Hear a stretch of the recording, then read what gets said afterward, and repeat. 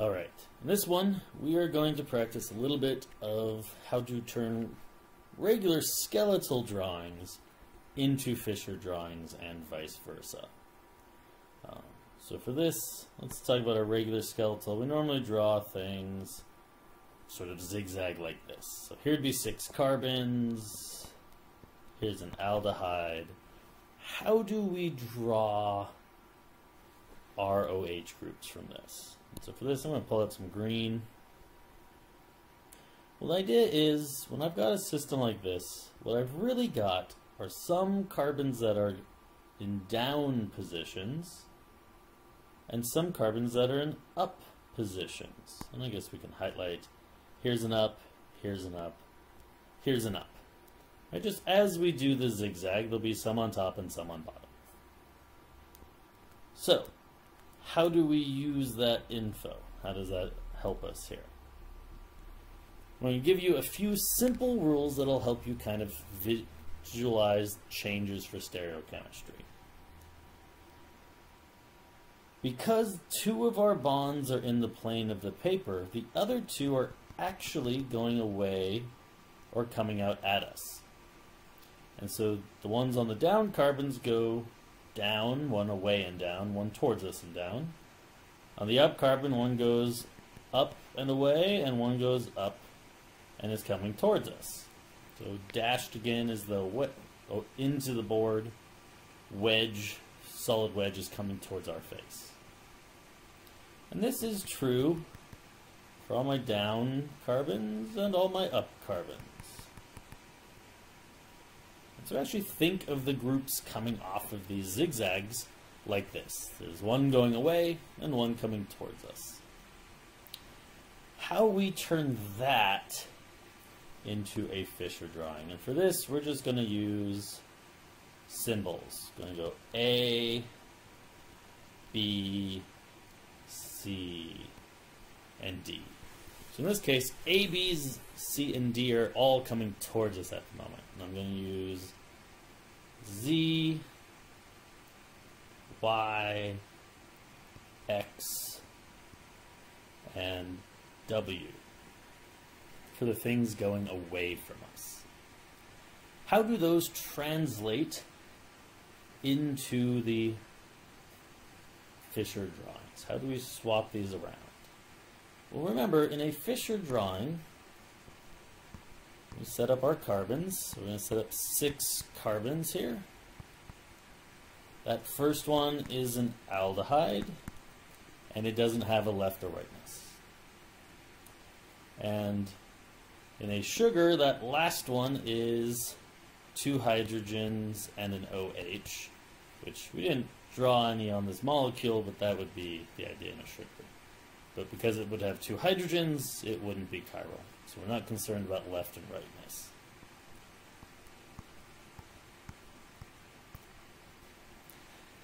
For these middle four carbons, though, carbon 2, carbon 3, carbon 4, and carbon 5, those are the ones that we've filled in. These do have a left and right.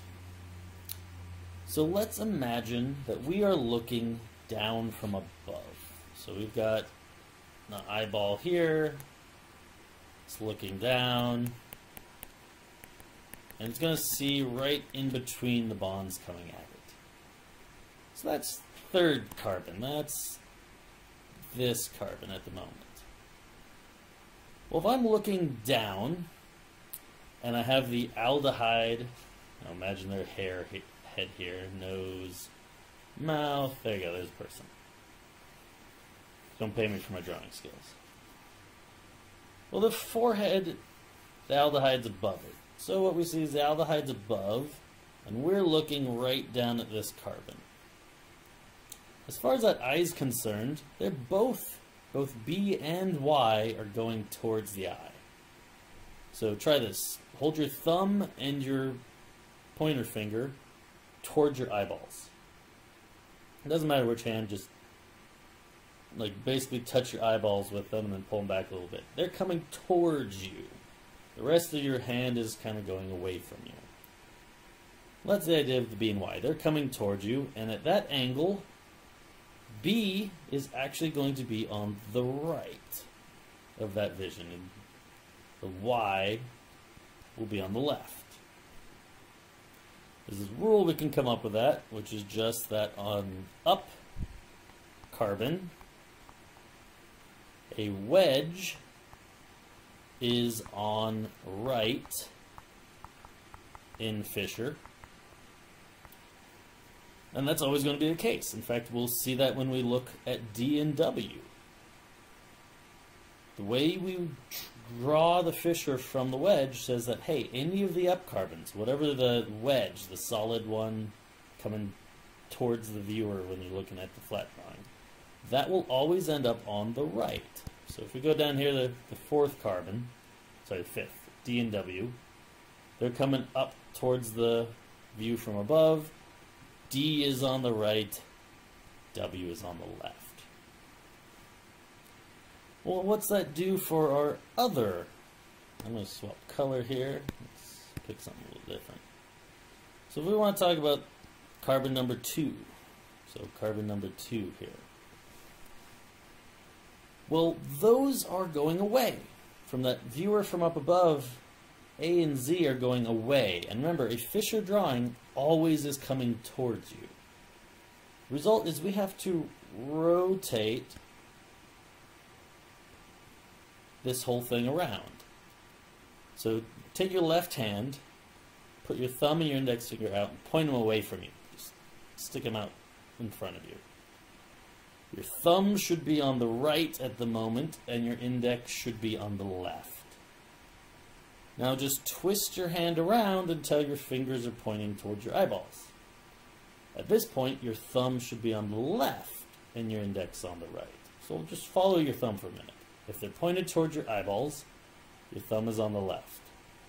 Spin them around to point them away, your thumb is on the right.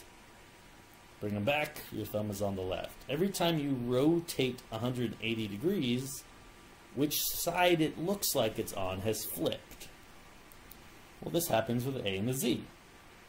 Originally, the A is coming out at us, but when we flip it around, it'll be going away from us. And the Z, which is originally going away from us, when we flip it around, will be coming out of the board. The result of this is that A ends up on the left and Z ends up on the right. Oops, wrong. There we go. A and Z. Which brings up our second rule.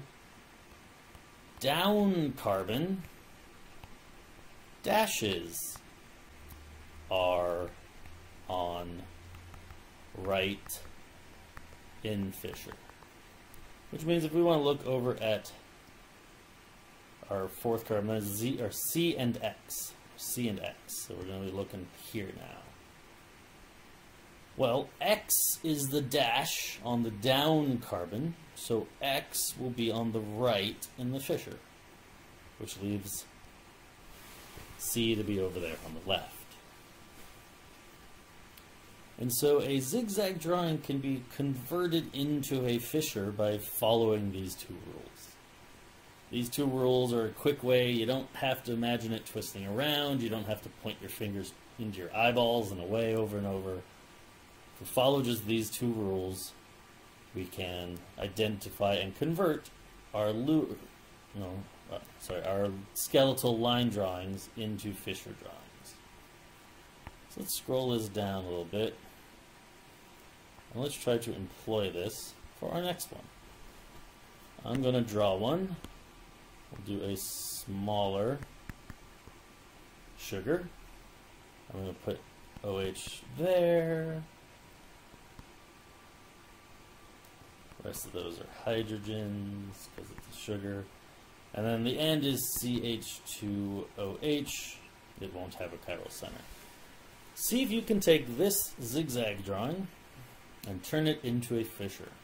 Go ahead and pause and give that a shot for a minute.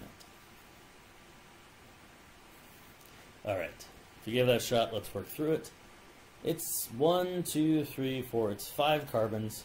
So one, two, three, four, five. It starts with an aldehyde. And then we're going to have three carbons that are chiral, and that last one is not. So, how do I identify what goes into each spot? Well, let's start up here. Carbon number two, I have an OH on the right, oh sorry, OH coming out at us.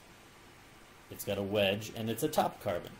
So if I have an up carbon with a wedge, whatever's in the wedge is on the right. So I'm going to get that OH on the right.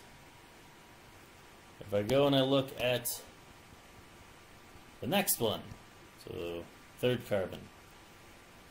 Well, in this case, my OH, again, it's a wedge, but down carbons, dashes are on the right in the Fischer.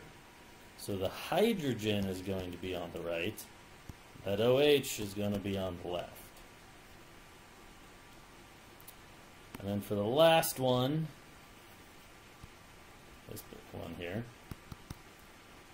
well that wedge on an up carbon has a hydrogen, and so up carbon wedge is on right, the hydrogen's on the right, the OH will be on the left. Which means whatever this is, well, our last chiral carbon has the OH on the left, so this is an L sugar. But here's how we've been able to translate a normal line drawing, a skeletal drawing, into the Fischer drawings to help us identify where the OHs in our sugar go so that we can figure out the stereochemistry from it.